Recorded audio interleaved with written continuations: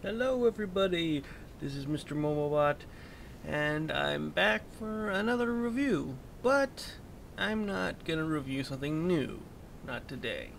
I'm gonna take a look at the NECA AVPR Predalien.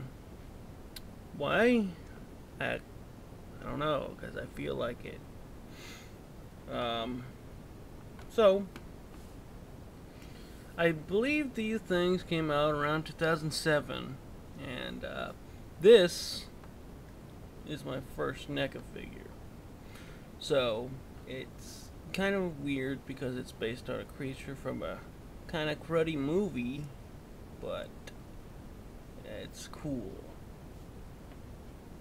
So, it's a weird attachment to this thing, definitely. He looks awesome, or she, I don't know. Um, looks really awesome though. NECA did so good at this thing. I mean, that's why I got it long time ago at a Toys R Us when they actually used to be good. They suck now. That's why I'm trying to find comic stores that are good. But this guy really stood out, and I don't think I saw the normal aliens there at the time. Um, so, yeah, this guy's awesome. So, uh, let's get on with the review. So, he, for articulation, his head can go very nicely up and down. Wow, a tremor just happened. Yeah, the tremor called Pippin, my cat. He just freaking knocked this place around. But yes, the head can kind of tilt actually. Uh, it's kind of close to the camera right now, but yeah. See, that's pretty cool. And it can go up and down pretty nicely, but it just won't turn to his left. Just won't go this way. So, that's a problem. I don't know why it does that. I guess it's the sculpt or something, but that'd be cool if it go, could go all the way around because it's one of the best head uh, joints on a freaking alien still. Except with the dog alien stuff, it's pretty good. But, that's the head. Arms go forward and... Oh, shit. Okay, uh, sorry about that. Uh, oh. Oh no. Uh, well, I just broke my freaking Predalien. On camera. Well,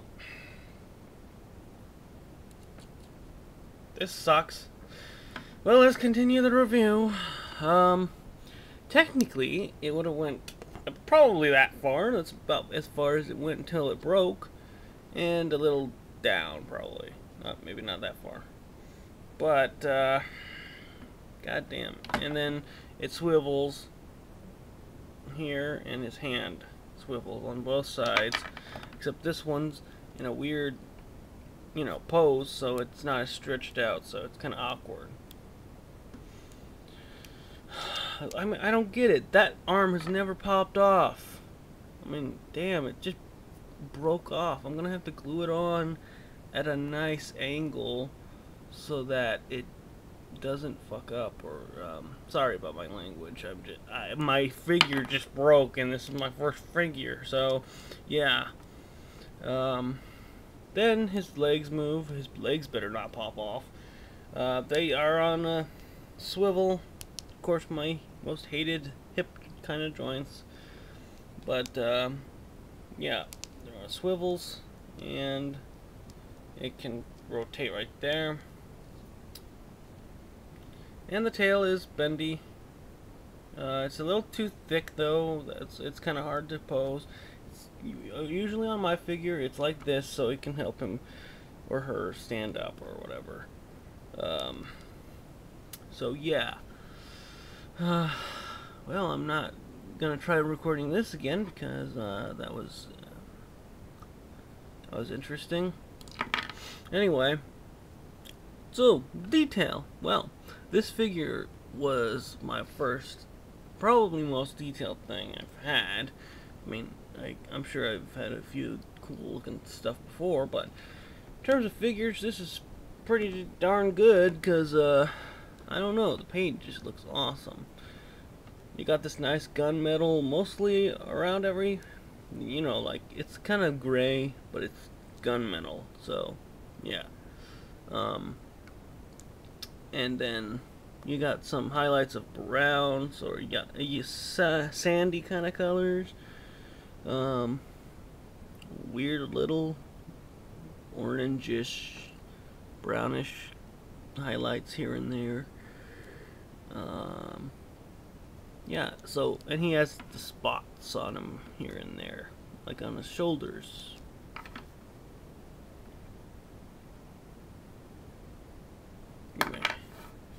God damn it.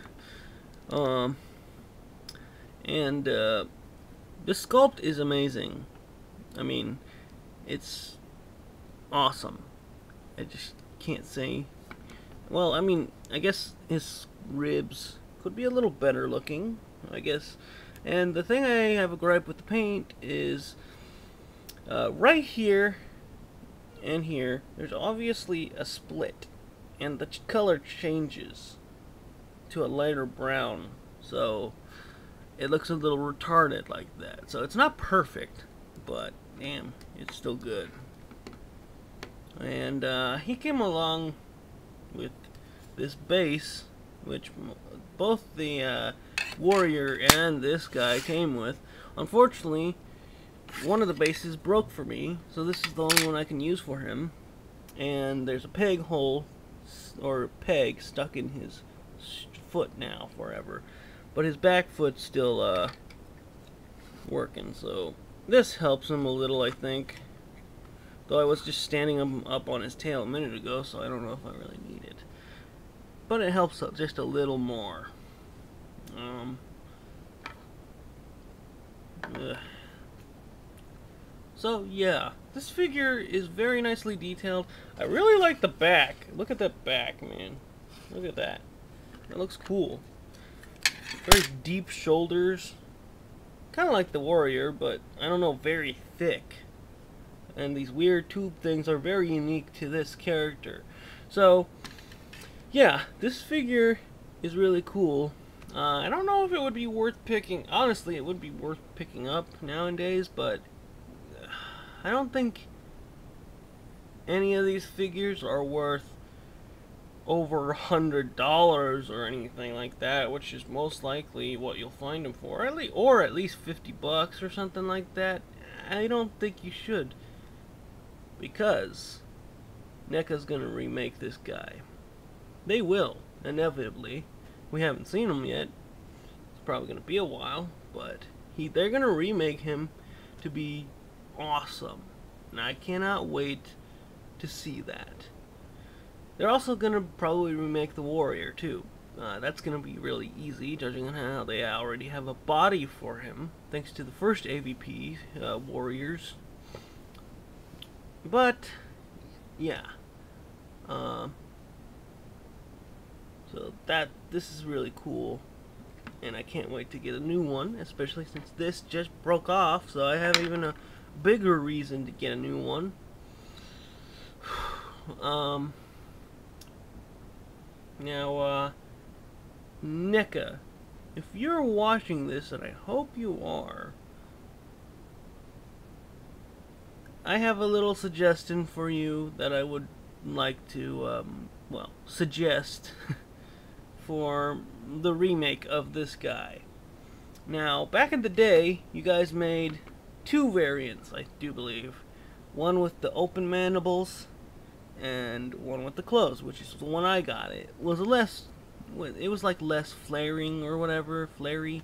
It just, I don't know. I like it closed, but then again, I would like the option to have it open too. So, what I might suggest is you guys make it where when uh, the new one releases, we can detach these because it's quite a wide head. So, I'm sure there's you can make peg holes right here, just like the Predator blades, and make it where we can detach this and put on the open ones. That would be sweet. Like, really cool. And of course, I know you're already going to add the articulation and everything, uh, but the detail has got to be on par with the old one, if not better.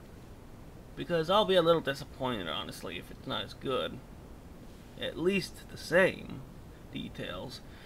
I know the material you're going to use are, is probably going to make it look a little different, but the paint apps on this guy is really good, and I want that to be on the new ones. So please, uh, uh, hopefully you take my suggestion with the mandible thing, because I, I thought that would be cool, and I think it is possible. So, uh, yeah. And, of course, definitely the paint. I would like to see that. So, um, well, I guess, uh, well, let's do a size comparison real quick. So, here's a normal old Predator figure from Predators. And there's the Predalien. As you can see, the Predalien, you know, is uh, tall, I guess. I mean, he stacks up okay against the Predators, and obviously he's good against the. Uh, let me grab, let me grab one of the Wolf Preds.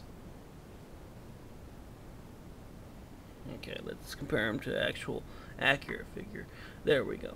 As you can see, he's taller, but that's because these guys are always crouching. I could stand him up just a little, and he'd be taller probably. But, that's why I'm so excited for the new one, because it might be a little bigger actually, I don't know. Uh, it might be fine the way it is. But, the articulation will just make it where we can do so many awesome poses. Just like in the movie, even though the movie sucked. But obviously the creatures were cool, so that's kind of why we are watching the movie anyway. Um, and I cannot wait till they remake this guy too. I mean, it's gonna blow the freaking SH Monster Arts one out of the water because it's gonna be 20 bucks. And if it has the same detail as this, or better, it's gonna be awesome. I can't wait for that. I would have suggested the mandible thing on um, this guy too, because that would be cool if on um, on masked predators you can have it where you can change out the uh, mandibles or mouth. But that's a little bigger.